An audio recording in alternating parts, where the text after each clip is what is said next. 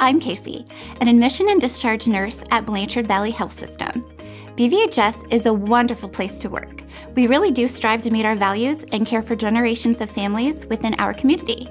At BVHS, I never feel like an associate. I feel like an integral part of a team that serves the medical needs of our region. If you'd like to make a difference and help us fulfill our mission of caring for a lifetime, please click the link to be connected with our open positions. Blanchard Valley Health System, we're here for you.